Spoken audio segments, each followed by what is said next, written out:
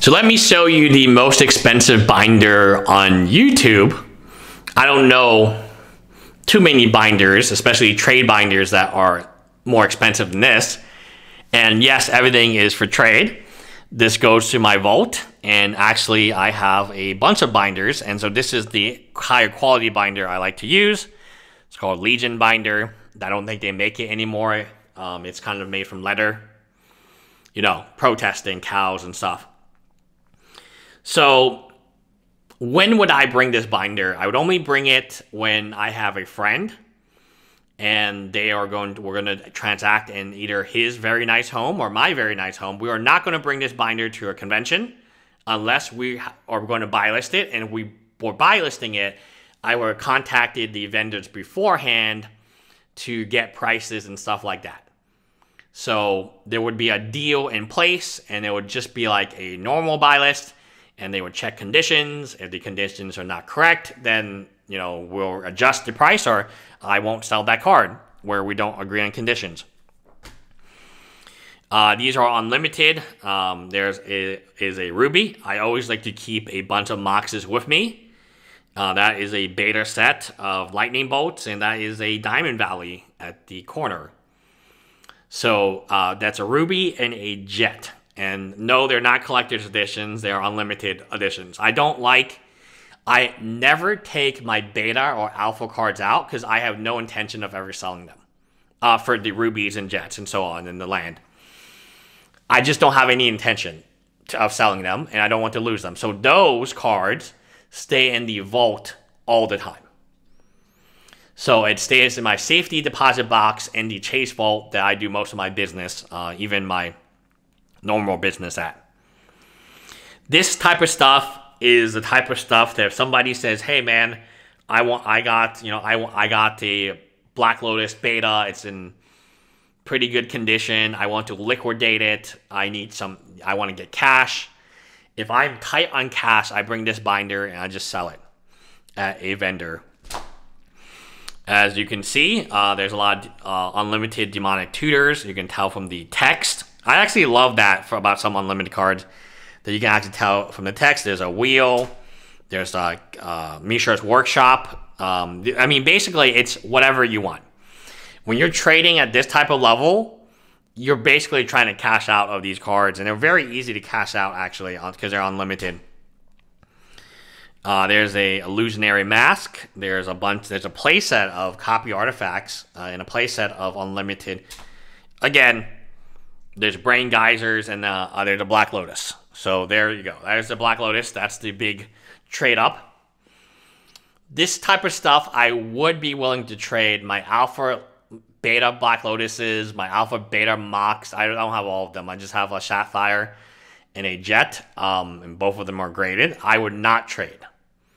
I would not even take it out of my safety deposit box and I'm not allowed to film inside it, you know, anymore. I, I didn't know when that rule was going to happen, but I tried to film and they told me not to. It's just not worth risking anything bad happening to it. Um, this binder, in my opinion, it would be a catastrophe if I lost it, but it wouldn't be as no, it wouldn't be nearly the catastrophe it would be if um, my safety deposit box. And then you got dual duals uh, you got duals, you got wheels. I think you guys will enjoy this pop part. Duals, wheels, duals, duals, duals, duals, duals, duals, duals, duals. Mm, I gotta add two more volcanic island duals and uh, more duals, right? So let's go back Lotus. Um, probably didn't even notice there was a Black Lotus until I got pointed out. It's kind of hidden well with the artifacts. So yeah, that's my binder. Uh, that's my trade binder. Everything here is for trade or for sale. Um, the other high-end stuff I never see. This type of stuff I do see often. In fact, this is actually my fourth unlimited Black Lotus. Uh, it is my currently my only one that's non-graded. I have a graded one in the safe that's unlimited. I have a graded one that is beta. It's a really not good grade. I had to fly out to pick that one up because the guy was, you know, he's. When you deal with this type of like collection, buy it. In my opinion, this is the type of stuff that alpha investments, open boosters, like you know that there's always a market for it because there's always somebody who has money who wants it. I showed you five different collections today. Two of them were kind of similar. I guess one would be higher price. But um, this is the collection that everyone wants to get to. This is the end point for many collectors. And it's nice to have. Uh, for me, I'm really into uh, beta and alpha. And that, that, type, that type of stuff is hen's teeth especially in gradable condition or in graded condition, it's really difficult to have um, because of the price point. And I don't think that type of stuff will get cheaper because the people who have this type of stuff, they're financially well off enough not to have to sell it, typically speaking. They're not going to be like, oh, hey, I, I, I need money for my emergency fund today.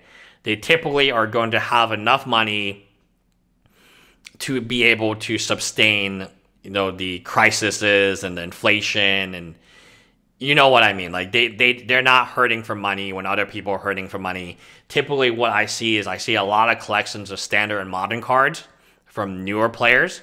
Uh, maybe they're not hurting for money; they just need a little extra money. Maybe they are hurting for money.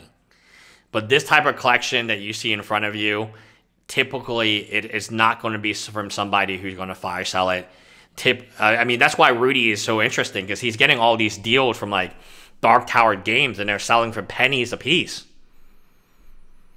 I paid full market price for most of what you see here, full on market price because it's either you don't pay that price or the guy goes to someone else or the guy throws on eBay.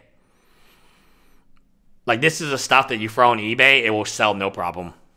Anyway, let me know what you guys think of this binder, and let me know if you have uh, a Black Lotus to trade me. Hi, guys.